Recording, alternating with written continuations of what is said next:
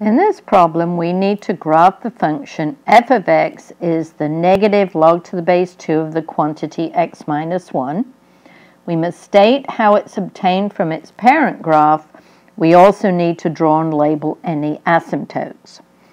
So looking at the function, what's the parent graph? It's just going to be y equals log to the base 2 of x. And we need to graph our parent function and then we're going to transform it into the graph of f of x. So we need to graph some accurate points.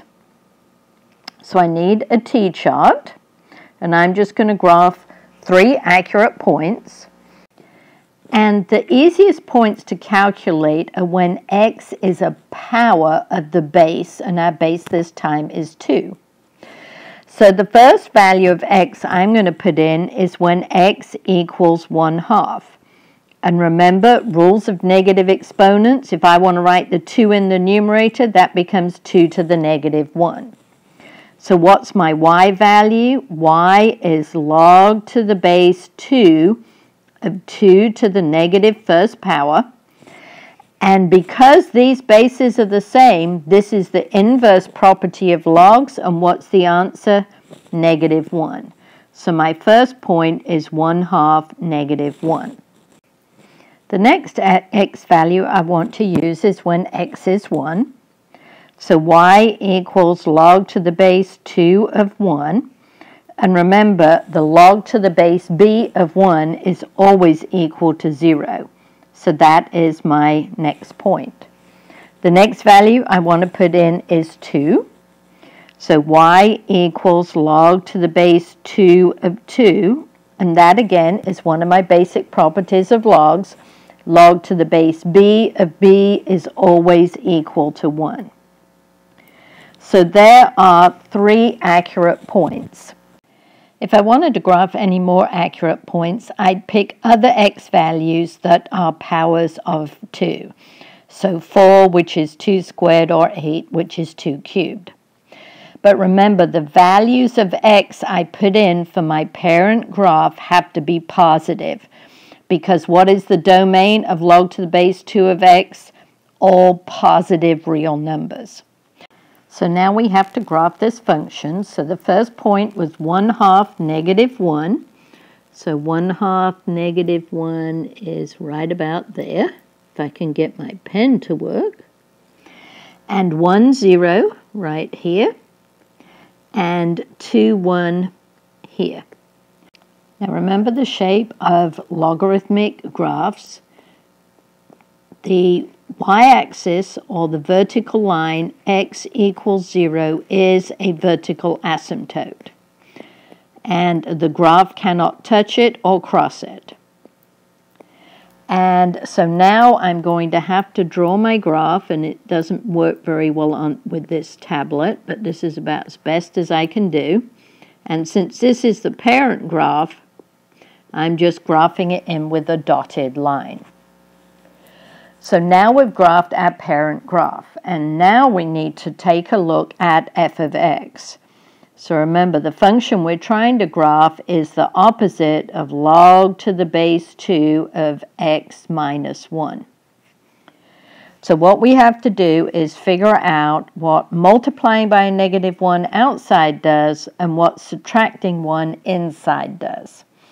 Well, remember, outside effects are vertical, and multiplying by a negative 1 is a vertical reflection in the x-axis. And then what does x minus 1 do when the minus 1 is inside the function? This is going to be a horizontal effect. And when you add and subtract numbers, it's going to shift. But remember, in the horizontal direction, minus 1 is going to shift it not left but right one unit. And remembering order of operations, we always shift left and right first, and so we're going to do the reflection second. So let's see if we can get this done all in one step. So I'm going to take my first point, 1 half negative 1, I'm going to shift it to the right one. So it's going to go to here. And then it has to, whoops, sorry, then it's got to reflect in the x-axis. So since it was one unit below, it's going to go one unit above. So that's where that point is going to land up. So that's my first point. Next point, this point here on the x-axis. So if I shift it right one, it's going to go to here. And then I reflect it in the x-axis. Well, since I'm on the x-axis, it won't move anywhere, so it's going to stay right there. So, so it's going to be right there. And then my last point was 2, 1, right here. So it's going to go 1 to the right, and then when you reflect in the x-axis, it was 1 above, it's going to go 1 below. So it will be right there. So my other point is going to be right there. So the last thing we have to figure out is what happens to my vertical asymptote of x equals 0. So if I take a point here, I move it to the right, and then I reflect it across the x-axis, it's going to be up here.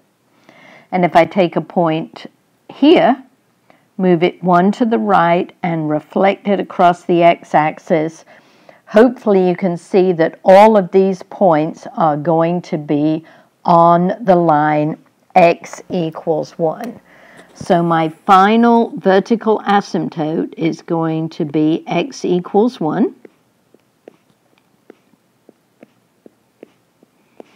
So remember, that's the equation x equals 1.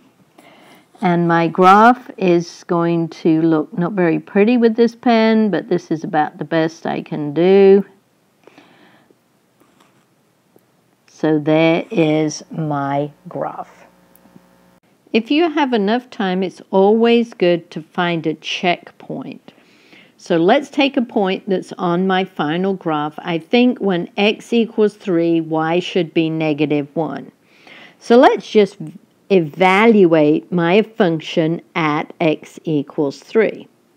So it is negative log to the base 2 of, remember I'm putting a 3 in here, 3 minus 1. So it's the opposite of log to the base 2. 3 minus 1 is 2.